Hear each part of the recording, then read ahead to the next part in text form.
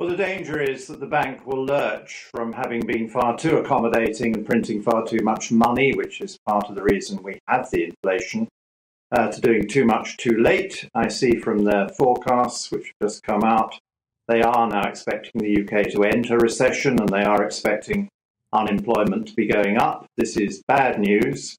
And they've got to try and get the balance right after the inflation mistakes of the last couple of years. Uh, so they've got to be conscious uh, that if they slow the economy too much, we, we have a nasty recession, uh, and they do far too much to control uh, inflation by that means. Uh, whereas if they didn't do enough, then clearly the inflation might last for longer. Uh, but I would like to have heard rather more from them about just how much they've done already, because they've, they've made a huge change to money policy compared with last year uh, when they were still creating lots of money and buying lots of bonds. And I see today they're now talking about actually selling some of those bonds on top of the interest rate rises. So this is a very substantial monetary tightening we're talking about, and we are going to feel it in falling output. Do you think this is too much is too all at once? Well, I think they've done more than enough to, to deal with the inflation problem that reflects past problems. Uh, as they rightly say, um, if the energy price situation gets worse, then the economic outlook deteriorates, or if we're somewhere near the peak of the energy prices, then we get some benefit from that.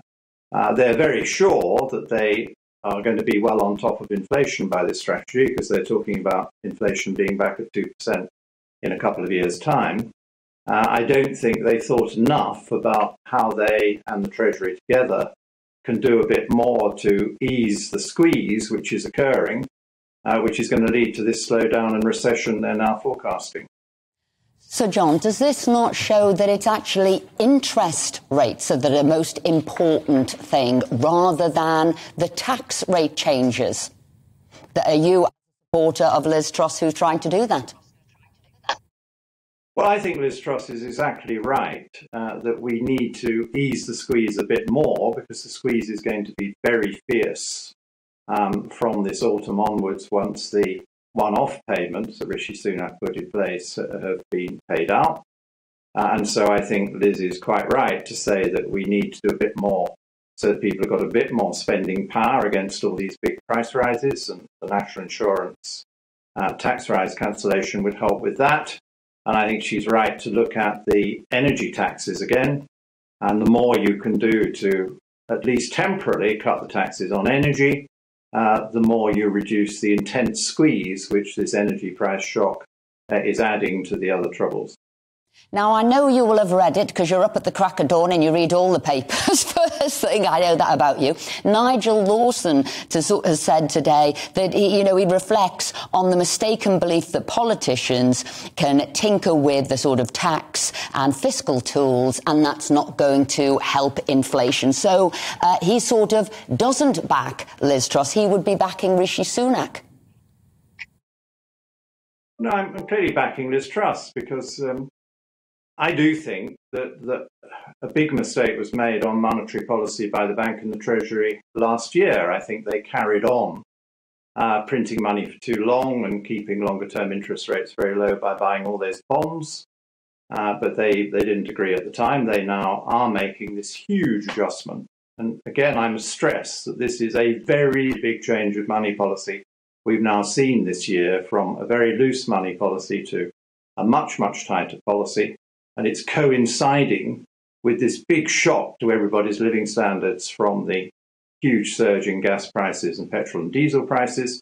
Uh, so I do think more needs to be done. I think Liz Truss represents the change we need in thinking, because we do know that the old Treasury and bank thinking landed us in this situation with a very high inflation. It's true that same mistakes were made in America and in the European Union, uh, but these mistakes weren't made everywhere in the world, and we need to learn from that.